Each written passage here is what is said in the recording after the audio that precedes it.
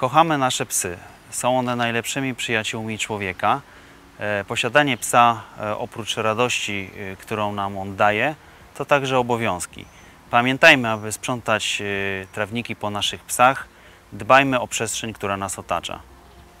Pamiętajcie, że możecie korzystać ze wszystkich koszy na śmieci, które są dostępne w naszej dzielnicy.